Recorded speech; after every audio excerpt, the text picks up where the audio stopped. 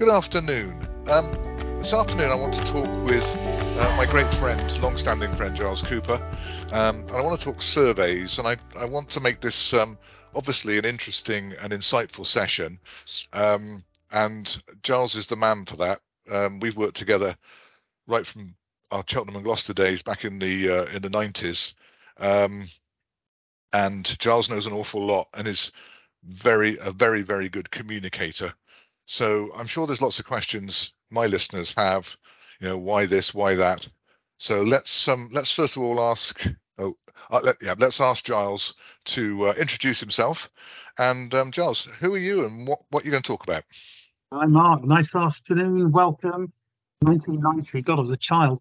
Um, yeah, I've been in uh, been in the area for many many years now. I've been in in Gloucestershire for over 30 years um, doing surveys, uh, initially valuation work, a lot of valuation work for C&G with you, and then more recently um, working for um, a, a, well-known local firm of surveyors, and then in the last uh, year or so, just working with a smaller business, working out of Cheltenham, doing residential survey and valuation work for buyers, lenders, uh, solicitors, IFAs, these sort of people. So yeah, anything to do with the house, basically.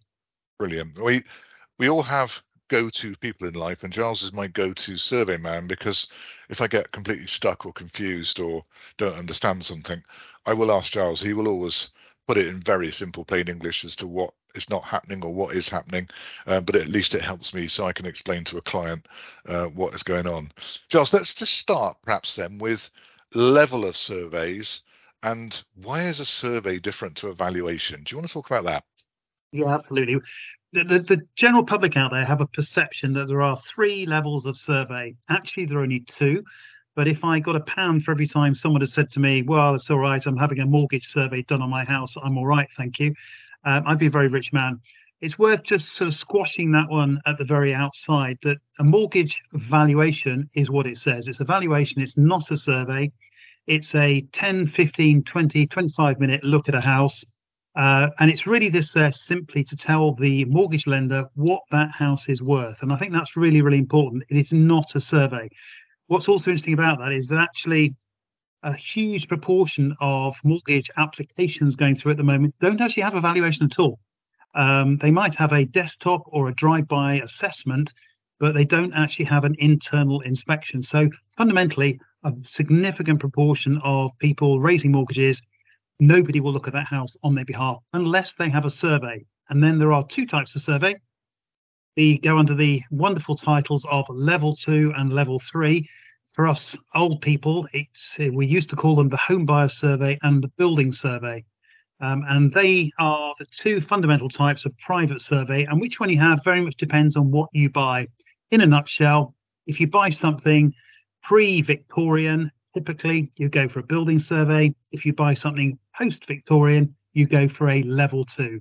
So that's basically where we are with the two types of survey. So it's two surveys, one valuation. Brilliant, brilliant. And can we just pick up on the, the, the phrases that you use there, drive by and desktop? It's phrases that you I use every day and probably uh, must stop doing so because clients don't understand that, nor should they. What is a drive by and what is a desktop?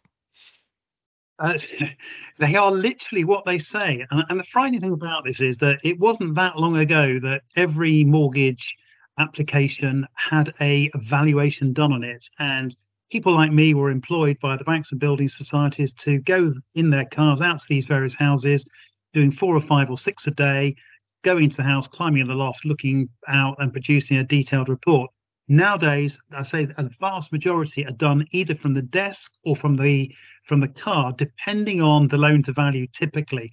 So if the loan to value is typically low or they're an established client, then depending on what criteria they fit, the lender will either commission a desktop valuation, which is literally sitting at the desk with a computer saying the computer says the house is worth 50,000. Uh, or a drive by where you literally drive past the house from the outside and then say it's worth £60,000. So they are literally what they are. They are very simple uh, valuations based normally on online information. So Rightmoves, statistics like that. Great, thank you. And so level two and level three, just summarize the difference. Yeah, level two is a um, it's actually my preferred report. It's really for, uh, as they describe it, more modern types of houses. Actually, we talk Victorian onwards, uh, but it's houses which haven't been significantly altered. It's your average three bed semi, your average Victorian terraced house, um, that sort of property. It's a great report. It's uh, discussed by the RICS or described by the RICS as an economy survey, which I think is the worst description ever. Um, it is actually a, a, significant defects report. So it's there to tell you things which fundamentally affect the, um, value of the property, structural issues, roof problems, damp problems, these sorts of issues. The building survey is a much more complex report. It's a Word document, um, typically 150, 200 pages long, and it will go into the property in much more detail. And it's geared at houses which have been significantly altered, extended, changed uh, over many, many years. So you need a detailed report because there are so many elements of that property that need describing. But for most houses, the level two, the old home buyer survey, is the right report to have. Brilliant. And Giles, you might reply, how long is a piece of string? But how long do you spend on a level two or a level three, just as a sort of typical? Well, actually, it is a piece of string. It's as simple as that. You you yeah. genuinely don't know. I think until you pull up at that house, you really, really don't know.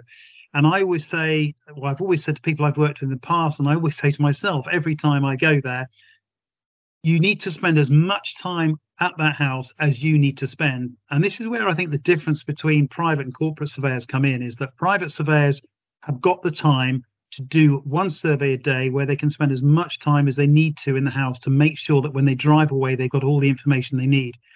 If you're thinking about having a survey done and that surveyor is doing two or three surveys a day, think twice because he's going to be under pressure to make sure that he moves on to the next one. And he may not have that extra bit of time to go that little bit of extra mileage to find out what's wrong with your house. Great tip. Great tip.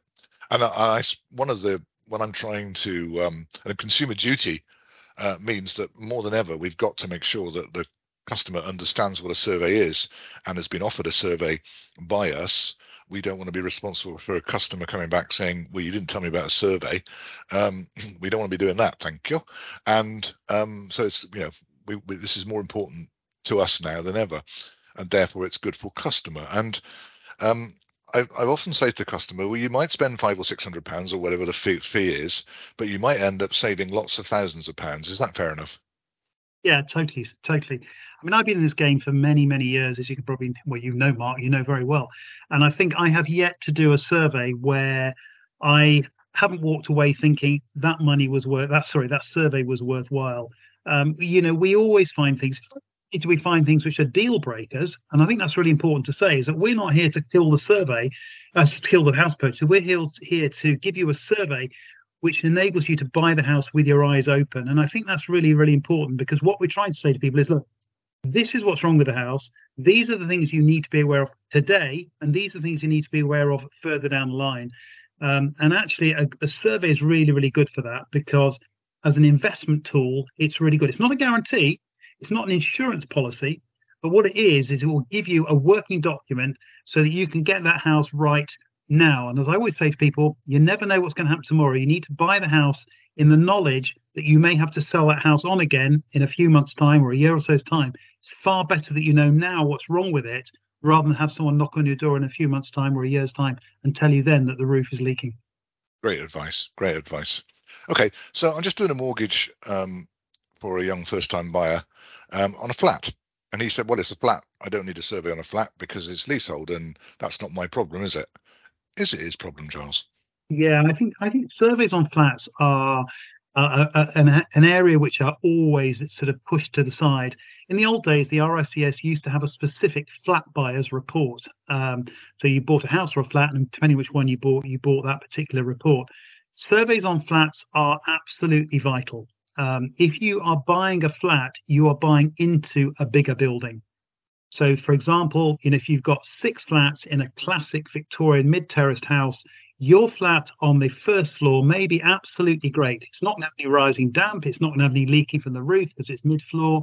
It's fantastic. The problem you've got is that you have got an inherent sixth liability to contribute towards the roof, the dampness coming into the basement flat, the pointing of the walls, the parapets, the gutters, the damp pipes, the windows, whatever else it might be. So absolutely, a flat is really sorry, a seven flat is absolutely important.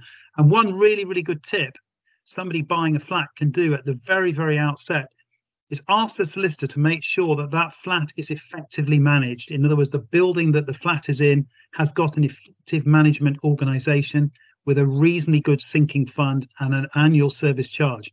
If those things are all in place, then you can at least buy the property with a little bit of reassurance, knowing that somebody is looking at that building and is spending the money to maintain it.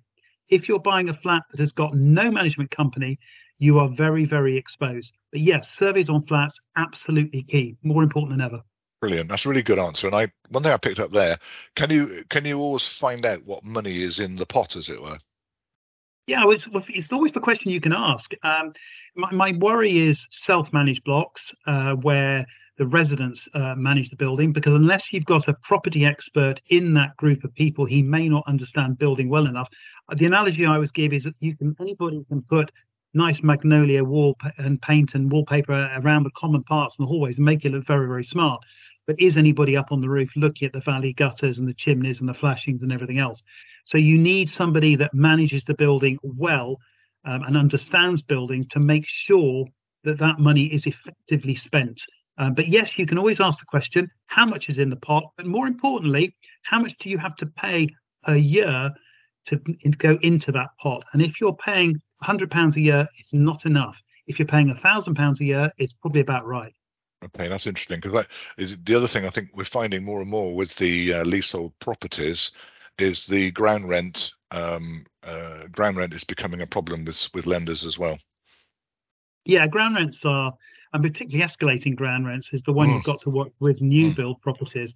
Um, ground rents uh, on, on period properties are generally not a problem, but if you're buying a new build house, I might say, as well as a flat, yeah. you need to be very, very sure about the ground rent and are, are there any hidden charges? Is the ground escalating? Is there an estate charge? I mean, we're going off a slight tangent, but you know, if you're buying on a modern housing estate, is there an estate charge uh, which covers the communal areas, the playgrounds, the roads, and everything else, all the cutting the grass? Often, local authorities insist on an estate charge, and again, that figure too can rise really, really steeply as the years go on. Yeah, I'm finding with the equity release inquiries I'm getting, and they're becoming more and more, and it's all about the property and it's all about those kind of charges and the equity yeah. release lenders because they're going to be the ones that sell the property most likely. They don't like it at all. So uh, now listen, I don't want to upset you on a Friday afternoon because you're a good man, but um, I want to just touch on on your your bete noire, the new build. Um, so no, um, Giles is always a bit cautious about new build, um, and he's going to tell us why. I think now, um, what's going on in new build world, Giles? Uh, new builds are uh, a worry to me. Um, I, think again, you know, in the old days when when uh, housing developments were built, the uh, the the builders and the site foremen were all local people. So in the Victorian days, you know, the builders were local. The the site foreman lived down the road. He they all drunk in the same pub. They all knew each other. and They built a good product problem we have these days is that with a lot of the modernist estates, that we can't get the workforce, and so we're shipping in uh, workforce from all over the country uh, to build houses. Uh, the site foremen are going from one site to another. They may not have local knowledge. They may not even have constructional knowledge, or at least enough constructional knowledge. And what we're seeing as surveyors is that the the actual finished quality of these houses is really, really poor. Um, and but they look so shiny, Giles. Sorry. They look so shiny. They look lovely and shiny, and you know you can make anything look nice. It's back to my flats. You can make anything look nice, um, but uh, you know at the end of the day, doing a survey on a new build is always great fun, uh, and I love it. And and, and I can normally tell within 30 seconds of going up into the roof of a house, in particular, whether that construction has been well built or not. And the other thing to bear in mind is a lot of houses not being traditionally built these days you know the days of brick and block houses are, are, are really diminishing. We're now onto timber framed houses, SIP houses, which are you know insulated panel houses come on the back of a lorry. One day there's a field, next day there's a house, um, and these have to go up to actually the, the millimeter millimeter tolerances. Um, and if they're out in any way, um, that house is uh, is compromised. So absolutely, new builds are a really really hot potato of mine, and I would suggest anybody buying a new build do not discount a survey. At least look into it. Um, because I think moving down the line, four or five years, when these houses come to be resold on, that's when the problems are showing through. Brilliant. And just a couple of uh, couple of things that you've seen, a couple of stories that you can tell. Um, so just uh, is anything come to mind?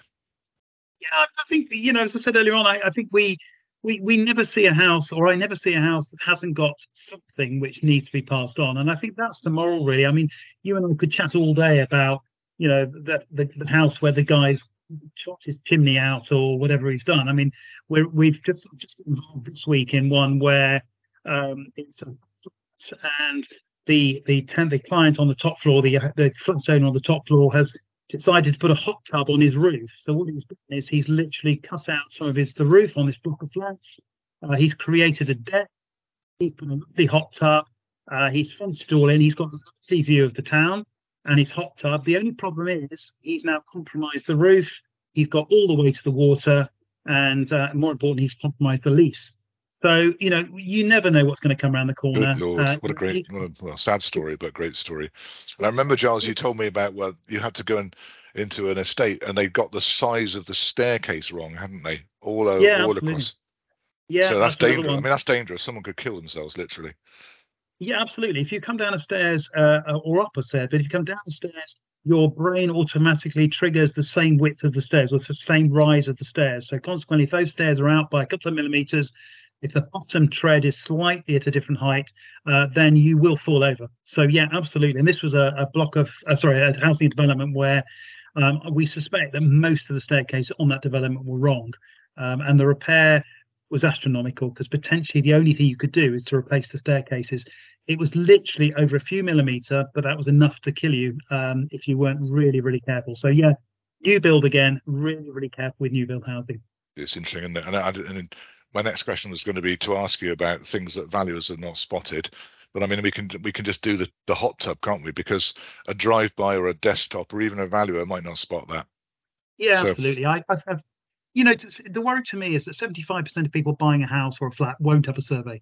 Um, and, and it worries me immensely because, you know, for the investment that we we take off people, uh, we will find things wrong with that house, which I say not to stop you buying it, but at least make you buy it in the full knowledge that when you come to sell it, those things won't be a problem too. So yeah, absolutely, have a survey, uh, or at least at least ask about having a survey.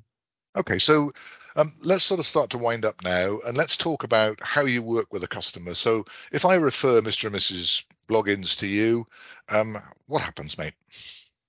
Easy. Um, I always say to people, talk to me about what you're buying. Let me find out where it is. Let me look at it online. We can discuss the type of survey. I can give you a quotation. We can send you an example survey. I will leave you in peace. I won't be ringing you every 30 seconds saying, hey, what about using us? It's entirely up to you. I will give you the facts. I will talk to you about it, and then we will give you the uh, the information. If you decide to go ahead, we do all the work. We book it all in. We do the survey, and then more importantly, we talk to you. We talk to you on the day of the survey to discuss what we found. We give you the written report a few days after that, and then we talk to you again after that when you've read it so that when you walk through the door with your keys, you know exactly what you're walking into, what you need to look for, where your repairs need to be, and what your expenditure is and we're always on the end of a phone. That's the important thing. And uh, is it fair to say, Giles, that the when the survey report drops on the doormat from the nice postman, providing the dog hasn't got it first, is actually quite a foreboding document. It's full of it's full of caveats and paragraphs and subsections, so it's quite a scary document. Any tips on how to read a survey? Yeah, absolutely. I mean, the first thing to say is, luckily for us, we we rarely post. We normally um, but yeah, the um, the the report the report is a oh that was bad time, wasn't it? The report is a, um, a, a difficult document to read, and I think you know what's really important is that um, you discuss it, and that's why I say we always make a play on making sure that people discuss the survey with us. The day we've done it. Uh, we talk it through, read the report, and then discuss with us again afterwards. It's really, really important that you discuss the survey with your surveyor. And, and we will do that as many times as people want so that they fully understand what they're buying. And yes don't just buy a survey read it and then ignore it. Discuss it. That's the key. Brilliant brilliant and giles a little commercial for your good self who are you where do you work and what how do people get in touch with you I work for a company called Certus Property Consultants. We're based in uh, Cambray Place in ch- middle of Cheltenham. Um, we cover pretty well anywhere within uh, your neck of the woods, Mark. Uh, so we go anywhere within sort of Gloucestershire, Oxfordshire, Worcestershire, Wiltshire, you name it, surrounding counties. Um, if in doubt, give us a ring. Certus Property Consultants. Be delighted to have a chat with you. All right, Giles. Thank you very much indeed. And any final things you want to say? Any caveats or? Uh... No, nothing to say. Uh, the only thing I would say is if you are involved in buying a property, a house, a flat, um, anything like that, please at least think of a survey. Don't be one of the 75% that discount it outright. And please, whatever you do, don't rely on the mortgage valuation. It is a valuation, not a survey. Brilliant. Thank you, Giles. Thanks for your time as always. Um, you know, we Giles and I have a lot of fun together. That was quite a serious chat, but I think it needed to be serious because um, it's it's a big point to make. And uh, I think, as Giles has alluded to, if you're putting in 29 grand of your own cash or 63 grand of your own cash, you don't want to see that go down in smoke because someone's built a hot tub on top of the roof.